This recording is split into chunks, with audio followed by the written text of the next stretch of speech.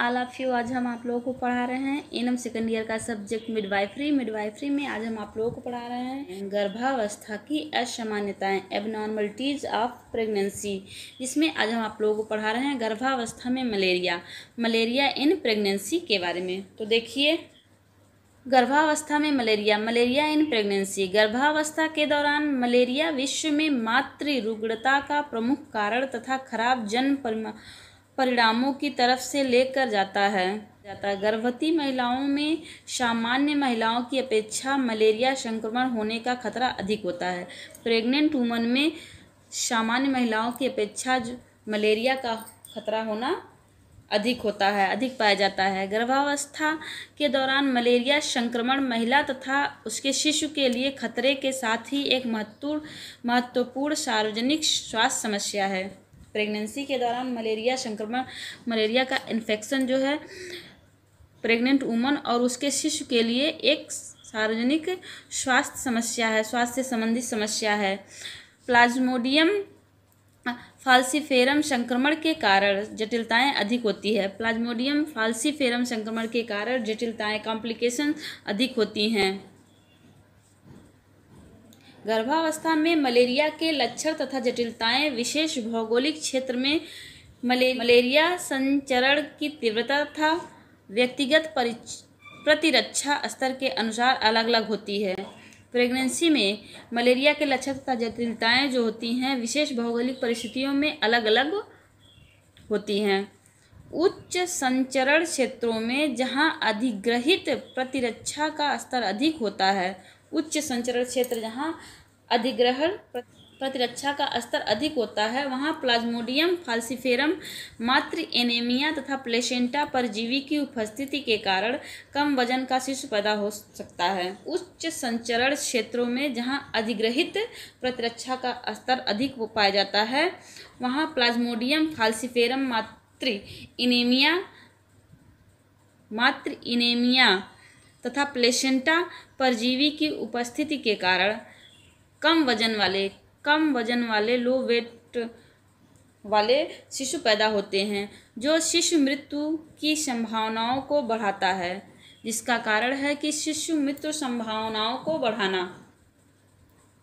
Plasmodium falciparum संक्रमण के प्रतिकूल प्रभाव प्रथम गर्भा महिलाओं में अधिक स्पष्ट होता है। प्लाज्मोडियम फाल्सीफेरम संक्रमण के प्रतिकूल प्रभाव, प्रतिकूल इफ़ेक्ट जो होते हैं, वह प्रथम गर्भ गर्भवती महिलाओं में अधिक स्पष्ट पाया जाता है।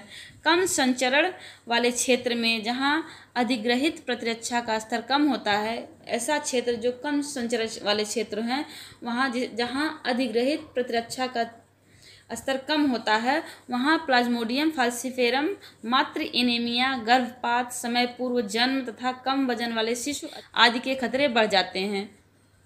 कम संचरण वाले क्षेत्र जहाँ प्रतिरक्षा, जहाँ अधिग्रहित प्रतिरक्षा का स्तर कम होता है, वहाँ जो है मातृ एनीमिया, गर्भपात हो सकता है। समय पूर्व जन्म, बच्चे का समय से पूर्व जन्म होना तथा कम वज़न वाले शिशु के पैदा होने के खतरे अधिक हो जाते हैं। इस प्रकार के क्षेत्र में सभी गर्भवती महिलाएँ, चाहे वह कितनी ही बार गर्भवती हुई हों, मलेरिया की चपेट में आ जाती हैं।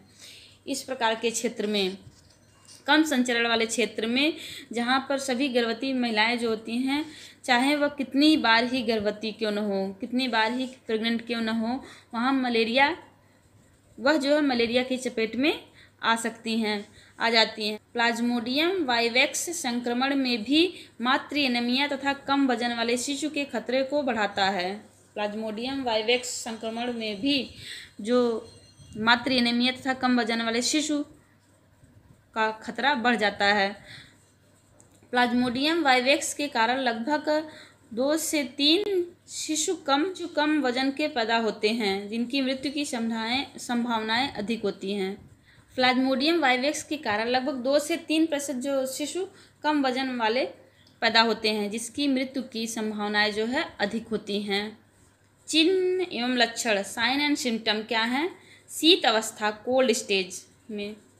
कोल्ड स्टेज में देखिए, शीत अवस्था कोल्ड स्टेज में सिर दर्द होना प्रेग्नेंट वुमन में के सर में दर्द होना, बुखार आना, कम, कपी, कम, कप कप कपी भरी जो कपी लगना, तीव्र ठंड लगना, तेज़ी से ठंड लगना, ये सब जो है प्रेग्नेंट वुमन में मलेरिया के लक्षण हैं शीत अवस्था में। नेक्स्ट देखिए, सेकेंड गर्म अवस्था, हार्ट स्टेज।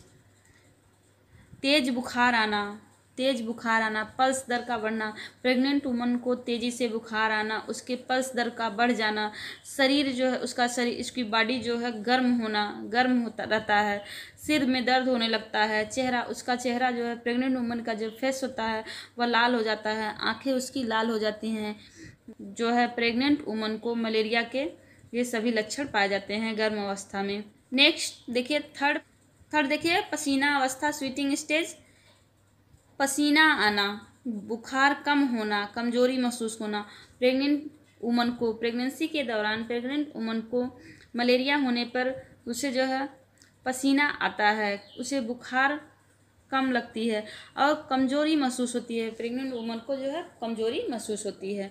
देखिए, प्रबंधन, मैनेजमेंट किस तरह से करें, जो है मलेरिया का गर्भावस्था में मलेरिया का जो है किस तरह से प्रबंधन करें, देखिए। लंबे समय तक चलने वाले कीटनाशक जाल का उपयोग करना। लंबे समय तक चलने वाले कीटनाशक जाल का उपयोग करना। मलेरिया का शीघ्र निदान एवं उपचार करना। मलेरिया का शीघ्र निदान करना और उसका शीघ्र उपचार करना, ट्रीटमेंट करना। महिला का सल्फाडाक्सिन पाय, पायरीमेटाइन के साथ आंतरिक निवारक उपचार शुरू करना। महिला का सल्फाडाक्सिन पायरीमेटाइन के साथ आंतरिक निवारण उपचार शुरू करना महिला को आयरन फॉलिक एसिड देना। प्रेग्नेंट वुमन को महिला प्रेग्नेंट वुमन को वुमन को आयरन फॉलिक एसिड देना। यदि आवश्यकता हो तो महिला को रेफ़र करें। यदि आवश्यकता हो यदि ज़रूरी हो तो महिला को जो है, है रेफ़र कर देना चाहिए।